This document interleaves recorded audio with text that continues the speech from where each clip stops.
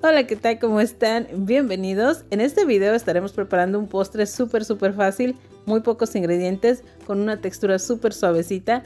Te va a encantar. Yo soy Nena de Nena Postres y comenzamos.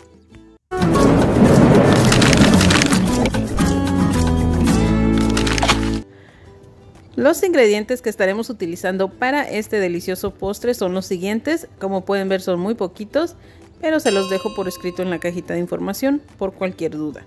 Necesitaremos una gelatina de sabor piña para prepararse en agua. Obviamente tú puedes elegir cualquier otra eh, fruta que a ti te guste, cualquier otro sabor.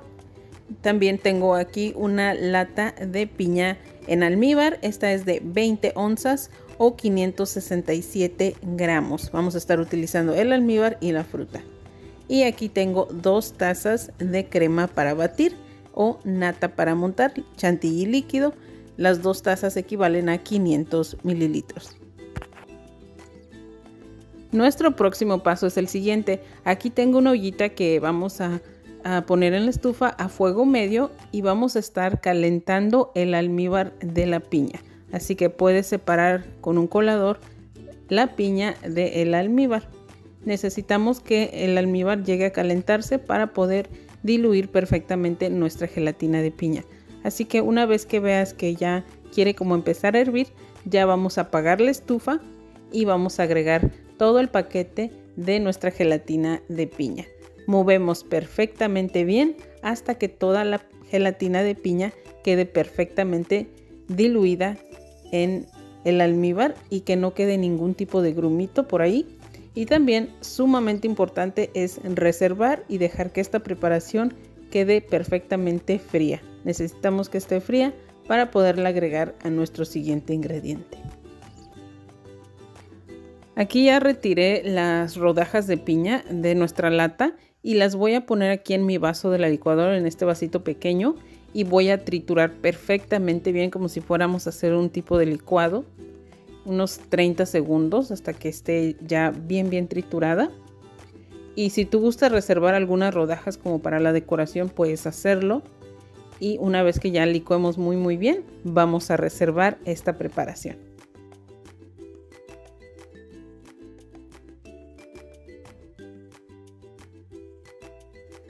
Nuestro último paso es batir nuestras dos tazas de crema para batir o nata para montar. Son 500 mililitros. Este es el chantilly que yo voy a estar utilizando. Lo pueden conseguir con la bella María de Ruiz de Angie's Dessert Supplies. Los datos de ella se los estoy dejando aquí en pantalla, al igual que en la cajita de información por si te interesa.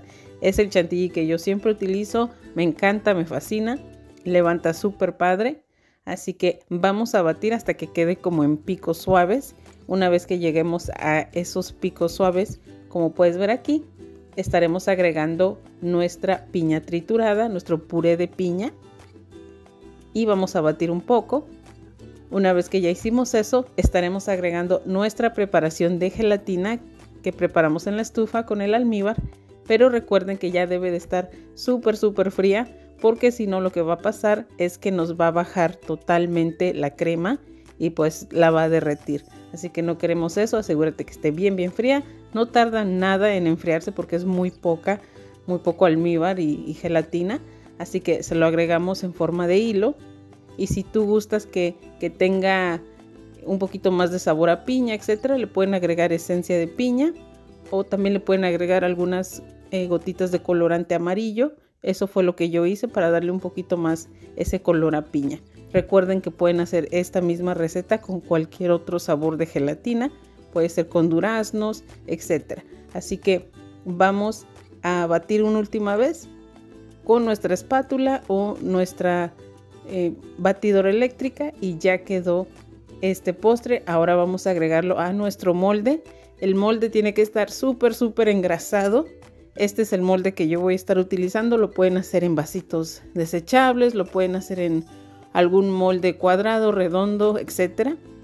Pero sí tiene que estar bien, bien engrasado porque este postre es bastante, bastante suave y se pega. Así que tengan cuidado, lo pueden hacer también en algún topper de plástico, etcétera. Así que vamos a meterlo a nuestro refrigerador a que cuaje perfectamente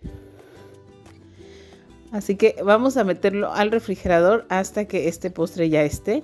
No tarda mucho, yo lo voy a dejar toda una noche, pero tú lo puedes dejar algunas cuatro horas y ya está perfectamente este postre para disfrutar.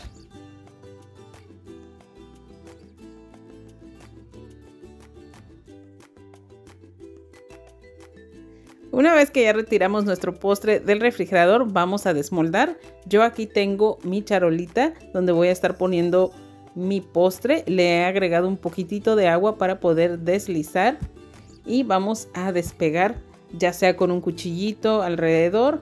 Eh, yo te recomiendo que sea húmedo. Recuerden que este postre es bastante suavecito, así que tengan cuidado. Yo a mí casi se me rompe, así que tengan cuidado. Pero vamos a acomodarlo y vamos a emparejar con alguna espátula o algo. Pueden meter alguna espátula en agua caliente y rápidamente vamos alrededor para quitar cualquier tipo de imperfección. Y pues ustedes pueden dejar así ya el postre o pueden decorarlo. Yo voy a decorar con unas rodajas de piña, pero obviamente no es necesario. También pueden poner cuadritos de piña alrededor o un poquito de chantilly o nada más cerezas o también un poco de coco rallado, etcétera.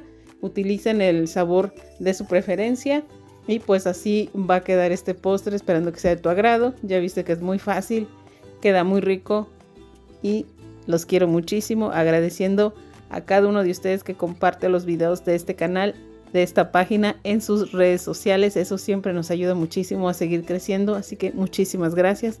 Recuerden sonreír mucho, cuidarse mucho y que Dios me los bendiga con muchísima, muchísima salud en especial. Los quiero muchísimo. Gracias por los minutos que compartieron conmigo y los espero aquí en el próximo video. Besos. Adiós.